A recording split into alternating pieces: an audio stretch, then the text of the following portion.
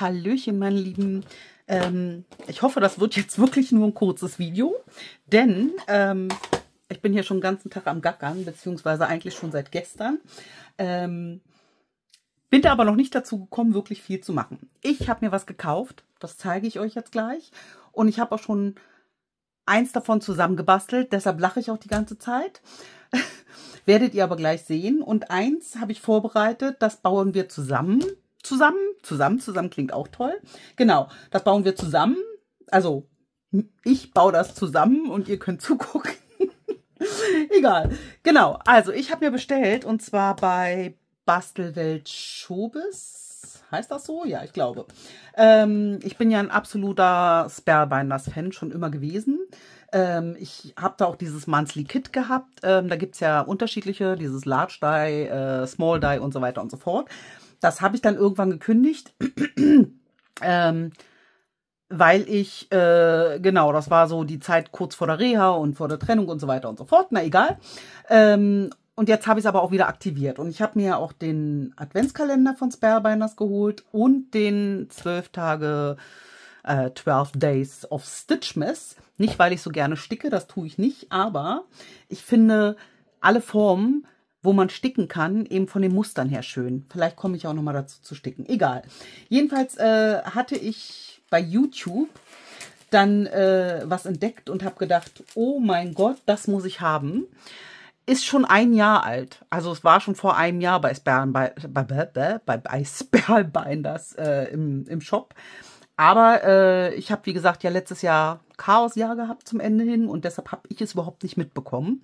Und da das eher weihnachtlich-winterlich ist, äh, ist es mir auch das ganze Jahr nicht vorgeschlagen worden. Egal, Ende vom Lied ist, ich habe es entdeckt, äh, ich glaube, weil ich wissen wollte, was letztes Jahr in dem äh, 12 Days of Stitchmas drin war. Und dann wurden mir genau diese Dinger gezeigt. Und zwar nennen die sich Dancing und dann eben je nachdem, da gibt es ganz viele von. Ich habe mir geholt, jetzt kommt's, ha, einen Pinguin. Und wenn man den, also das sind hier lauter kleine einzelne Teile, lassen sich easy, ich habe ja hier die, äh, die kleine von Stamping Up, perfekt, ne? Also ich muss da nicht extra die große aktivieren und, und, und. Die steht nämlich hier bei mir unterm Tisch. Die müsste ich erst rauskramen und so weiter und so fort. Also die kann man easy mit so einer Mini-Stanzmaschine machen. Man kann da auch ideal Restpapiere wegarbeiten, weil das wirklich alles teilweise kleine Stücken sind, wo man zum Beispiel, ich nehme mal kurz eins, hier, ne, äh, rein theoretisch dann irgendwie was machen könnte. So, genau, also den Pinguin habe ich mir geholt. Dann habe ich mir geholt, huch, das Tütchen ist schon kaputt, da muss ich aufpassen, dass ich nichts verliere. Äh, dann habe ich mir geholt Dancing, achso, der nennt sich Dancing Penguin. Penguin. Die nennen sich Dancing Gingerbread. Da gibt es ein Männlein und ein Weiblein. Die habe ich jetzt noch nicht zusammengebastelt. Den habe ich schon zusammengebastelt. Die schaffe ich heute nicht mehr. Und äh, Dancing Gifting Maus schaffe ich auch nicht mehr. Also das sind leider, die müssen warten. Die kommen dann beim nächsten Mal. Die vier habe ich mir jedenfalls bestellt. Und ich war total, oh Mensch, wann kommen sie endlich? Wann kommen sie endlich? Das ging auch recht fix. Also ich glaube, bestellt und zwei Tage später waren sie da. Ähm, ich habe es leider nicht vorher geschafft zu basteln, aber ich zeige euch mal den Pinguin. Also ich hoffe, ich kriege das auch in die Kamera. Da ist noch kein Spruch drauf, ja, auf der Karte. Ich habe jetzt einfach nur mal irgendwie was gebastelt. Und hier, also ja, im Liegen ist natürlich schlecht, ne? Ich, ich guck mal, ob ich das hier irgendwie eingefangen kriege. Seht ihr, wie die, naja, ich habe hier eine Erhöhung drin und das ist natürlich doof, ne? also sowas sollte man dann vielleicht nicht machen, aber wenn man hier, ich versuche das mal irgendwie so. Seht ihr? Ne, seht ihr nicht, ne? Egal. Also die wackeln jedenfalls hin und her. Mann, es ärgert mich schon ein bisschen, dass ich jetzt hier diesen Schnee da als Erhöhung äh, könnt ihr nicht sehen. Schade, schade, schade. ja, egal. Also auf jeden Fall äh, tanzen die hin und her. Ja, guckt mal, warte. Ja, so jetzt. Also egal. Jedenfalls, wenn man die Karte hier so, naja, lässt sich schwer machen wegen der Erhöhung hier. Nächstes Mal mache ich das nicht. Ähm, genau, den habe ich mir hier zusammengestanzt aus allen möglichen kleinen Papierchen, Restpapierchen und so weiter und so fort. Jetzt habe ich, weil den habe ich ja schon zusammengebaut und ich will euch ja schnell zeigen, wie es geht, beziehungsweise es ist ganz easy, habe ich mir den hier, ich finde den so cool, bin ich richtig verliebt in den. ähm, Dancing Figgy Pudding. Also ich gehe mal von aus, dass äh, wo immer Spellbinders sitzt, irgendwie Weihnachtszeit hier so ein Pudding-Kram ist. Hier mit Frosting drauf und so weiter und so fort. Ich habe schon alles ausgestanzt, was wir brauchen. Ja, also ich hole mal die Teile ran, die ich hier... Das brauchen wir auch. Das gehört da auch zu.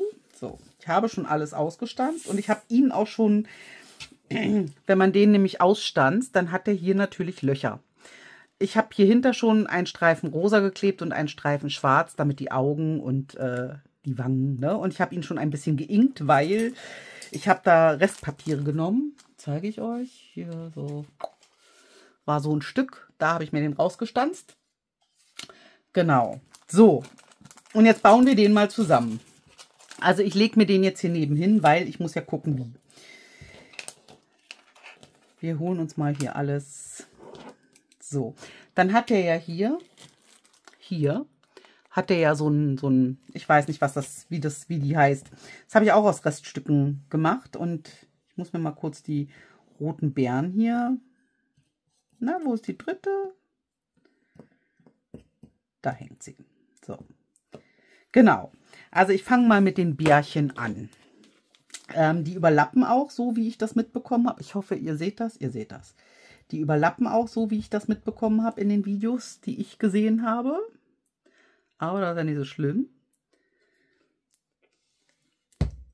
Normalerweise hätte ich mich jetzt auch ganz alleine über, über meine tanzenden Figuren hier gefreut. Aber ich dachte mir, also ich habe mich wirklich weggeschmissen. Also schon alleine bei den Videos, die ich gesehen habe, habe ich mich weggeschmissen. Weil die Mädels aus Amiland oder wo sie alle herkommen, die die gebastelt haben, die haben sich da auch weggeschmissen, weil wenn man jetzt nicht gerade so wie ich jetzt hier, ups, wartet mal, muss man hier ein bisschen aufpassen. Wenn man nicht so wie ich gerade hier so, ein, so eine Erhöhung gemacht hat, dann tanzen die nämlich echt richtig cool. Und da gibt es, also es gibt da auch noch ein Rentier irgendwie von. Wir lassen das mal ein bisschen trocknen, weil das trocknet ja schließlich klar. So, dann die Schüchen. Genau. Habe ich alles schon, ne? Also ihr könnt ja auch Farben wählen, wie ihr wollt. Ich wollte jetzt äh, passend zu meinem Hintergrund, das heißt passend zu meinem Hintergrund, den habe ich ja erst danach gewählt. Egal, so, kriegt er seine Schüchen an. Und das Schöne ist, es ist alles so, dass ihr genau wisst, wo es hinkommt. Also es ist selbsterklärend quasi, ne? So, andere Seite. Und ihr braucht da auch gar kein extra irgendwie ein Brett oder sonstiges, sondern das macht ihr alles mit Foam Pads, damit ihr nachher tanzt. Das zeigen wir euch gleich, der Figgy und ich. So, haben wir das auch. Dann hat der Ärmchen, die natürlich Handschuhe haben. auch die kriegen wir erstmal hier rauf.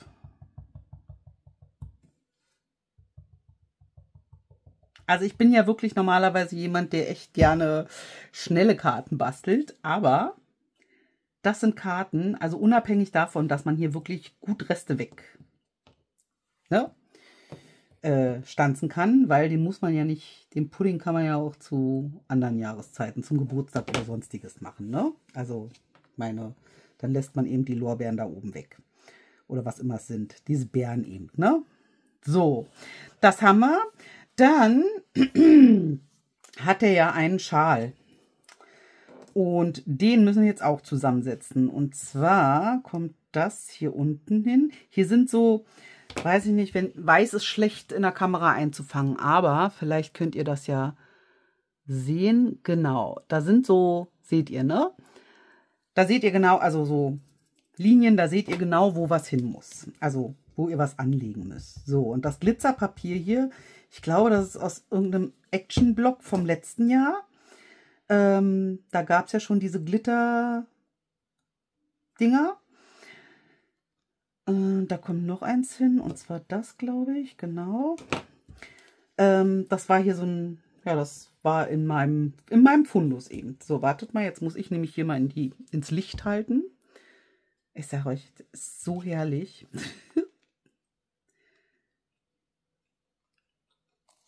Und ich lache ja gerne und dementsprechend ne, habe ich auch voll Bock gehabt, diese Karten zu basteln, beziehungsweise diese Figürchen zu basteln. Karten, ich meine, wir setzen die jetzt auf dem Hintergrund drauf dann, ja, aber wir müssen mal gucken. Ähm, Sprüche mache ich heute nicht, ich will nur die Figur zusammensetzen. So, jetzt haben wir hier noch so ein paar und jetzt müssen wir mal gucken, wie die sich zusammensetzen. Ich muss mal gucken. Ich glaube, der kommt hier hin. Der, weiß ich nicht. Andere Seite, glaube ich. Irgendwie, ich muss mal gucken, weil hier sind ja, wie gesagt, ne, hier sind ja, ich glaube, der gehört dahin. Der weiß ich noch nicht. Ich muss gucken, wie es kommt. So, ich glaube, der gehört dahin. Wir werden mal sehen, ne? Dann gehört der dahin. Könnte sein. Dann gehört der hier hin? Ne, der gehört dahin. Ich muss mir das vorher erstmal so raufsetzen, damit ich weiß. So, genau. Okay. Ähm. Ja, jedenfalls, äh, ich bin ja sonst so keine Fummel... Ja, machen wir es eben anders, ne? Keine Fummelliese. Das ist mir ja immer alles viel zu filigran und, und, und. Aber das macht richtig Spaß. Und da macht selbst mir, also ich meine, ich mag ja auch dieses Bild Flower von, von Alte New. Und ähm, das ist ja auch nichts anderes, ne? Also quasi alles ausstanzen. Und ich mag es, wenn man die kleine Stanzmaschine benutzen kann, weil die große ist eben immer ein bisschen aufwendig, die erstmal, also die steht bei mir auf dem Rollwagen unterm Tisch. Aber es ist ja trotzdem ne, man muss die großen Platten rausholen, man muss, wegen kleinen Stücken ist das total nervig. ich bin ja da eher die, die dann, ja, sieht gut aus. Wir haben es gleich. Also das Zusammenbauen ist, ich bin wie gesagt, ne, Grobmotoriker, wisst ihr ja. Und äh, habe da so meine Problemchens. bei filigranen Sachen. Ich glaube, der ist viel zu weit. Der muss dahin. So, wir legen da mal, wo ist er denn? Egal, dann legen wir da so eine Stanze rauf. Weg. So, ähm, das haben wir, das haben wir, das haben wir. Die Bärchen haben wir. Jetzt kommt, kommen wir zu ihm. Jetzt ist natürlich blöd, wenn ich das hier mitten in den Weg lege. Ne? So, geht mal beiseite hier. So. Und der hat ja hier so ein Frosting drauf. Total cool. Also auch das erklärt sich von alleine, wie es angelegt wird.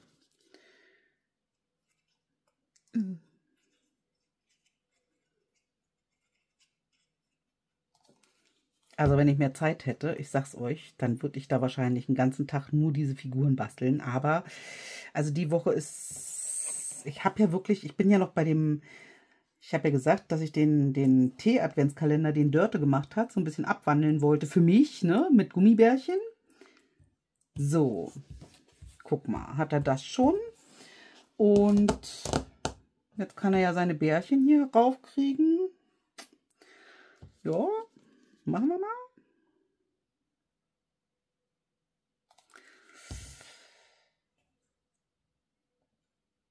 So, ja, Sieht doch schon mal gut aus. Schal, warten wir mal noch kurz. So, und das ist hier, hier der Mechanismus, ne?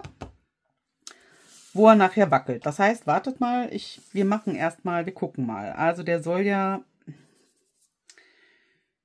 ich würde den wahrscheinlich eher hier unten hin machen und dann oben Spruch. Weil, wenn der jetzt hier drauf ist, der kommt ja dann hier so rauf, ist genug Platz für einen Spruch. So, wo sind meine Foam Tapes? Da.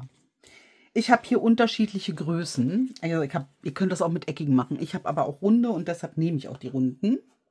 Und dann nehme ich die mittlere Größe, die ich hier habe. Und dann setzt ihr euch den, also ich setze ihn jetzt mal hier hin, ne? So, rein theoretisch würde einer schon reichen. Ich mag es aber gerne, wenn es doll wackelt.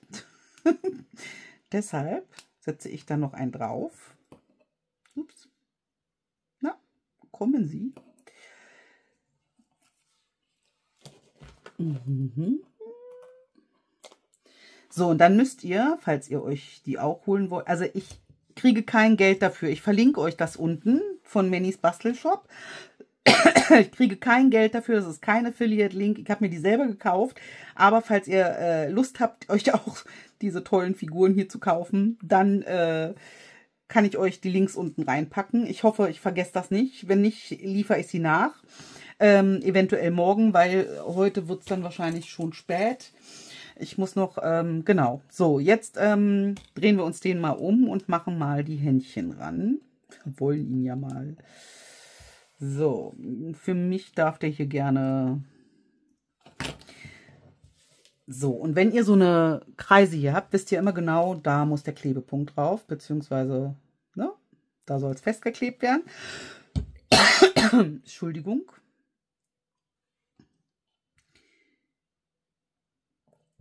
So, Nummer uno. Ich finde die Dinger so herrlich.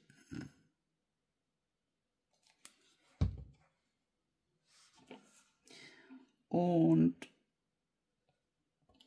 Nummer zwei. Der darf gerne feiern, ne? So. Jetzt würde ich den ja hier so raufsetzen, also damit man ne, die Rundung von den Dings nicht sieht. Das ist cool. Aber vorher machen wir erstmal den, uh, komm her hier, den Schal. Naja, hätte ich auch besser machen können, ne? aber egal. So.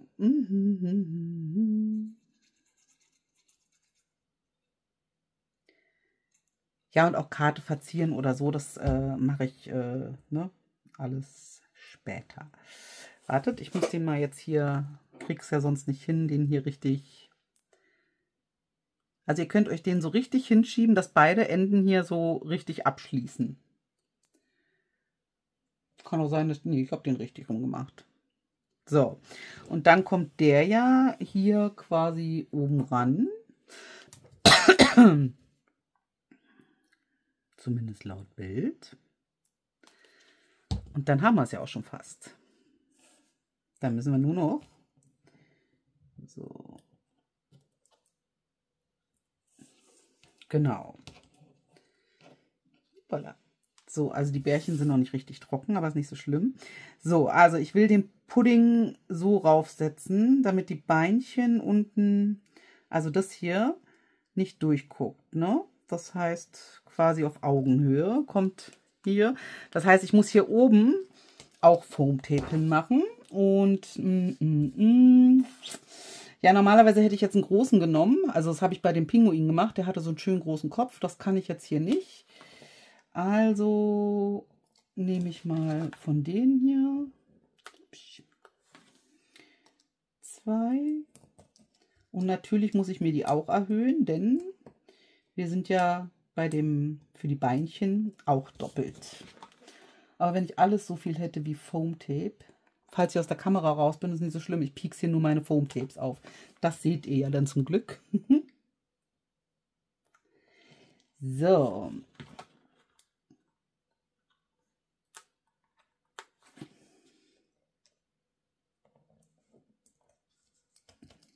Sehr, sehr schön.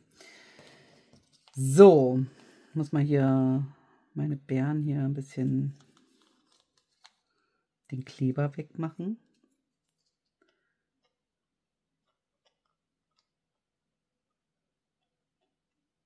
Schmadderliese bin ich, also ehrlich. So, dann mache ich das mal hier oben ab. Na, das.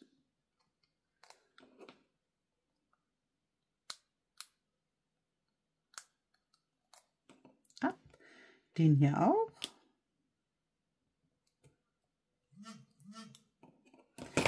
So, kann losgehen.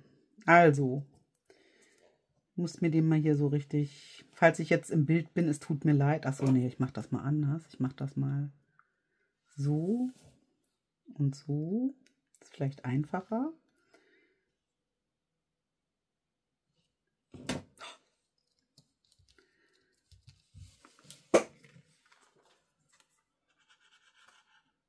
So cool. Das Problem ist ja, seht ihr das? So cool. Also ich kann es leider nicht hochkant in die Kamera halten, aber es ist so cool. Ich ja, also wie gesagt, ich bin ja schon den ganzen Tag am Lachen, weil ich diese Figuren hier einfach nur super, super cool finde.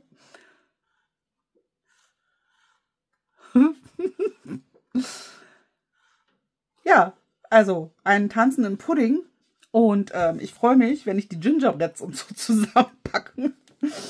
ähm, ich muss mal gucken. Also heute ist Donnerstag und ich bin ja auf jeden Fall bis Samstag noch hier.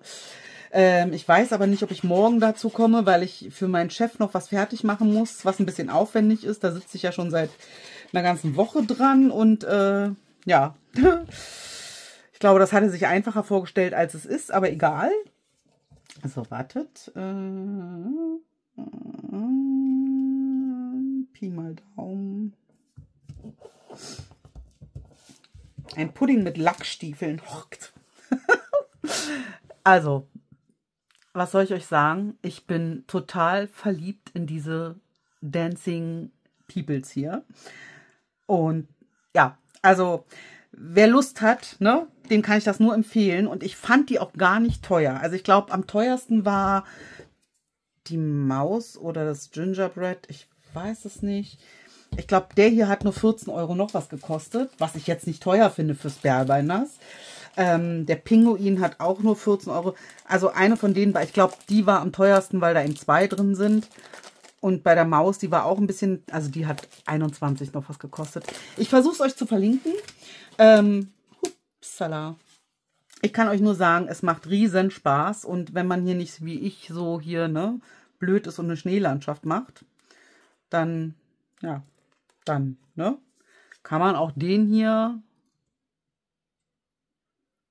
Schlittschuh laufen sehen. Und schon hängt er wieder. Aber der hier, deshalb habe ich hier jetzt auch nichts mehr unten gemacht. Der ist so cool. Wie geil. ja, und bei den Gingerbreads, also so viel kann ich euch mal sagen, da wackelt dann der ganze Körper. Also da sind dann die Köpfe quasi wie beim Figgy-Pudding hier fest und der Körper wackelt hin und her. Die haben ja keine wirklichen Beine in dem Sinne. Und bei der Maus, da wackeln auch die Beine. Also es ist wirklich total cool und ich werde die beiden auch noch machen, aber nicht mehr heute denn es ist spät und ich muss ja auch irgendwann wieder ins Bettchen. Was heißt es spät? Es ist äh, 21.22 Uhr. Es ist spät. Genau. Also, ich werde das Video jetzt erstmal hochladen und falls ich es äh, nicht schaffe, heute die Links zuzupacken, mache ich das auf jeden Fall morgen. In dem Sinne äh, wünsche ich euch viel Spaß und ähm, ja, also ich glaube, irgendeiner von euch wird auf jeden Fall eine tanzende Puppe, hier eine tanzende Figur als Weihnachtskarte von mir kriegen. Ich finde die wirklich mega, mega cool. Ich bin schon echt am überlegen, ob ich nach Dresden meine Stanzmaschine mitnehme und ein bisschen Papier und Kleber und mir diese Figürchen hier schon stanze und zusammensetze, weil ich finde die echt Hammer. Und das sind so lustige Weihnachtskarten. Also ich meine, alleine schon ist der nicht süß, so süß. Ja, ich sage, ich bin schockverliebt, ne? Also von daher auch der Pinguin total süß. Da ärgert mich, wie gesagt, jetzt ein bisschen die Schneelandschaft, aber egal. Ähm, ja, also ich glaube, mehr Freude hätte das Bärbein das mir nicht machen können. Und ich kann euch mal verraten, dieses Oktober-Kit, was jetzt irgendwann kommt, ich, also es dauert ja nach Deutschland immer ein bisschen länger, das äh, ist auch total geil. Also auch das werde ich euch dann präsentieren. Also ich kann euch sagen, Sperrbein, das hat's einfach mal drauf, muss ich mal so sagen. Ist übrigens unbezahlte Werbung hier. So. Also, ich verabschiede mich, damit das Video nicht zu lang wird und ähm, ich hoffe, wir sehen uns beim nächsten Video wieder. Tschüss!